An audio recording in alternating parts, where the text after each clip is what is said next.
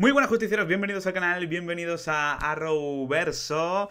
Tenemos teaser trailer de Aves de Presa. Lo que pasa es que se ha filtrado, ¿vale? No es un trailer, em, no ha salido oficial, ¿vale? Lo han filtrado unos rusos y em, lo tenéis en mis redes sociales. Yo no puedo jugármela y, enseñaros el teaser trailer aquí porque si no Warner me puede vamos, meter un puro tremendo por eh, copyright, pero aparte es que el tráiler está en baja calidad. Pero, pero antes de que se filtrase el tráiler ruso, se filtraron antes las imágenes a una calidad bastante decente de lo que viene siendo el tráiler, porque el tráiler es una cosita muy corta, ya os lo digo, eh, lo tenéis en mis redes sociales, creo que lo ha subido también Alex de Sala Cero, que le mando aquí desde aquí un abrazo.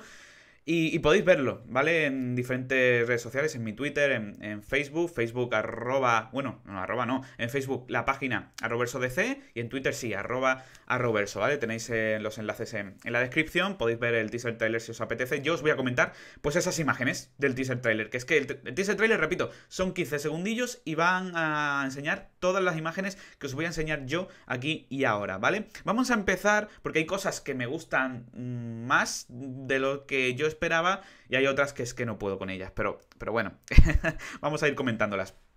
El teaser trailer empieza muy, muy, muy bien porque bueno, se ven una serie de globos, ¿vale? A mí lo, bueno, lo primero que he pensado, lo primero que he recordado ha sido, a muchos os habrá pasado, It, ¿no? Con todos los globos rojos. Y por detrás va apareciendo la sombra de Harley Quinn y con su martillo pues explota un par de, globos. y está genial porque nos dan a entender que ella, y esto ya se filtró hace tiempo, va a narrar y va a romper la cuarta pared. Va a narrar la película desde su punto de vista y va a romper la cuarta pared con el espectador. Y es genial, porque esto es muy del personaje de los cómics, creo que es un puntazo máximo y un acierto absoluto que vayan a hacer algo así, algo parecido a Deadpool, pero elevado al máximo exponente. Creo que va a estar muy muy bien y todo lo que eh, es Harley Quinn, luego vamos a ver más fotos, yo estoy encantado, porque respetan mucho al personaje y Margot Robbie está maravillosa como siempre. En fin, Segunda imagen tenemos a um, Iwan McGregor, Black Mask, Máscara Negra, eh, al fondo Canario Negro cantando en lo que parece ser un pub o el, club de Máscara Negra. Yo creo que es el club de, de, Máscara Negra. Em, aquí de primer plano, no sé si podemos intuir, porque en el teaser trailer hace como ¡Woo! ¿Sabes? Como podemos intuir que, que, es algo promiscuo, igual que se anunciaba en las diferentes filtraciones y que, bueno, el personaje es homosexual y tal, bueno, eh, probablemente pues eh, así lo sea. No sé si lo vamos a ver con la máscara negra. Yo estoy convencido de que no vamos a verlo con la, con la máscara negra porque realmente a ver, sí lo vamos a ver, yo creo que sí lo vamos a ver, pero no mucho tiempo, porque ya sabéis que los actores firman un contrato de que mi rostro tiene que salir no sé cuántos minutos, además es un actor muy reconocido como Iwan McGregor, a mí me encanta, es de mis actores favoritos, y no creo que salga mucho con la máscara negra, sí que habrá alguna referencia, pero si esperáis que Black Mask de ese, de e, ese respeto con la máscara, efectos visuales y tal, yo no lo creo, será una máscara cutre del Decathlon y poco más. Bueno, eh, aquí está, bueno, quería comentar antes eh, sobre Canario Negro eh, cantando esto, me parece normal porque ya en Renacimiento te dan a entender que Canario Negro es cantante y que mm, compone letras y tal, así que no me molesta, ¿vale? Es, algo que, que, viene de los cómics actuales de Canario Negro, no de los clásicos y, no me molesta. Esta imagen también es de Iwan McGregor, eh, Máscara Negra, lo dicho, debe ser pues eh, la misma secuencia en ese, en ese club. De espaldas, atrás, el chico rubio que, eh, aparece es Víctor Sass, ¿vale? Que ya lo vimos en su día. Es Víctor Sass, que será la mano derecha de, Máscara Negra. Y también se rumoreaba que podía ser la putita de, de Black Mask que iban a tener una relación ahí un poco rara. Pero bueno, veremos a ver lo que nos depara la peli.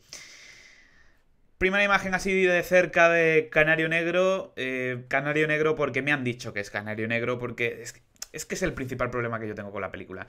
No respeta una mierda a los personajes ni las, ni las apariencias de los personajes de los cómics. Es, es lamentable. O sea, para, para el fan, yo soy muy fan, ya lo sabéis, de Canario Negro. Es mi personaje femenino favorito de, no solo de DC, yo diría de superhéroes en general. Y, a esta mujer, pues sí, lo hará muy bien, es muy guapa. Pero ya no, no es por el que sea negra o no, ¿vale? Es que, es que no, no tiene nada canario negro, no tiene nada. Ahí son con los pelos ahí en plan rastas. Es, que no, es que no me representa absolutamente nada. ¿Y por qué me lo han dicho? Me han dicho, esta va a ser canario negro. Si no, a ti te lo ponen esto y en ningún momento vas a decir, esta es canario negro, ¿no? Pero bueno, en fin. Aquí tenemos otra imagen de la misma Canario, pues luchando, imagino, con, contra la banda de, de Víctor eh, Sass. Mm, así muy badass. Esta película va a ser muy, muy Ángeles de Charlie. Va a ser muy Ángeles de, Charlie con, con las chicas muy badass, peleando y tal. Y a mí es una idea que, me gusta, pero claro, lo dicho. ¿Canario negro? pues vale. Pues, hasta luego, Mari Carmen. primera imagen de la cazadora y lo mismo. O sea, a mí esta actriz, creo que era Mary Elizabeth Winstead, ¿no? Si no me equivoco. No sé si se llamaba Mary Elizabeth o María Elise, no sé. Pero Winstead, ¿vale? Es una actriz que me gusta muchísimo desde hace ya mucho tiempo. Em, pero lo, mismo. O sea, a mí me dicen que es la cazadora. Pues vale. Eh, ¿Por qué? Porque tiene una ballesta. Ya veis, el outfit no tiene nada que ver con la, con la cazadora. Eh, por muy buena que sea la actriz. Es que todos los, todos los actores y las actrices que van a salir en esta película van a hacer un buen trabajo. Lo van a hacer. Pero es que no se parecen a nada es una falta de respeto y una patada a los cojones a los personajes de los cómics. Aquí de, nuevo tenemos a, la cazadora y lo dicho. Pues sí, es la cazadora porque tú me lo digas. Y además esta actriz, os lo digo, me encanta, me encanta y sé que va a hacer un, gran trabajo. Pero bueno, en fin, es lo que hay. Imagen de, Harley también. Eh, es, que, es que no sé, a mí me da la impresión de que es como un circo, un parque de atracciones, no sé lo que es. Eh, y Harley parece que va, está dispuesta ahí a lanzar alguna arma arrojadiza. Eh, me encanta todo lo que veo de Harley Quinn. Y, quiero incidir también en algo que me habéis dicho muchos por Twitter y es en la, en la paleta de colores que parece que va a manejar la, la, serie, en la fotografía, en la iluminación. Y creo que sí, yo estoy de acuerdo con vosotros, es muy buena para ser una película de bajo presupuesto, pues van a tener que jugar con, esas cosas para darle un poquito más de, calidad a la, a la, película. Y sí, es verdad que, son colores muy vivos, eh, que también juegan mucho con, el vestuario de, de, la actriz, en este caso de Margot Robbie. Eh, son colores muy Harley, en este caso. Creo que la película va a tener una iluminación y tal, que puede estar muy bien. Así también muy ochentera. No sé, me gusta. En general me gusta. Lo que no me gusta es el vestuario de diferentes personajes, pero con Harley no tengo ninguna, ninguna duda. ¿eh? Tiene un, outfit que, va a ir cambiando durante toda la película. Y es muy Harley también eso. Aquí tenéis, eh, pues será la misma secuencia. Vienen los, los hombres de máscara negra. Esto imagino que ya habrán robado el diamante de... ¿Os acordáis, no? El tema del diamante que se, que se filtró, donde Máscara Negra pues había guardado una foto de su nepe, esto es real, ¿eh? una foto de su nepe, no sé si lo habrán cambiado en las regrabaciones, pero guardó una foto de su nepe en un diamante. Mm, las aves de presa, no sé quién en concreto, eh, roba el diamante y, y claro, Black Mask, para que no se vea dañada su reputación, tiene que tener de vuelta su diamante. Entonces manda a sus matones y esto debe ser pues una persecución sobre Harley Quinn, la misma escena esa, y, ahí va a haber sangre, por lo visto. Bien, todo muy bien en cuanto a Harley. Esta escena pues nos deja, nos deja claro la, violencia que va a tener la película. Yo creo que esta que está de espaldas es René Montoya, por, por el, esa chupa que puede llevar de espaldas. Eh, allí al fondo, si lo veis, allí al fondo está la cazadora ya con un traje distinto, con un outfit distinto, ¿vale? Y bueno, aquí tenemos claro cómo va a ser la película. Violenta, va a ser una película R, rated R, y eso siempre, pues bueno, es algo distinto de lo que se ve normalmente en el cine y puede estar, puede estar bien que vayan a jugar con esa, con esa violencia tipo Deadpool. Y, bueno, eh, me gusta el, escenario, la localización en sí, el, plató, porque eh, creo que vamos a ver, al ser una película de bajo presupuesto y tal, vamos a ver eh, muchos escenarios así, con esos colores también azules oscuros, la iluminación así más, más blanca, con, luces blancas del exterior y bueno, está, está bien. al ser una película de bajo presupuesto van a tener que jugar mucho con, con esos, ese tipo de escenarios y pocos efectos visuales, ¿no? Bueno, está bien, tipo Escuadrón Suicida es esto un poco. No, no, no está mal porque para las aves de presa creo que es un estilo que, que les viene bien, les viene bien, de hecho. Esta imagen ha sido de las que más se ha hablado porque a mí mucha gente me ha dicho... Álvaro, pero fíjate, es que Canario Negro va a llevar un traje parecido a los de los cómics. Y es que eh, la cazadora va a llevar esa máscara que estáis viendo. Yo no veo el parecido en los cómics en ningún lado.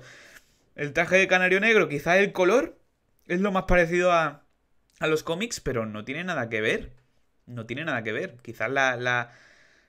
Es que no, es que no. La... Nada, nada. Tendría que verlo también, eh, el... es verdad, de frente el traje, ¿vale?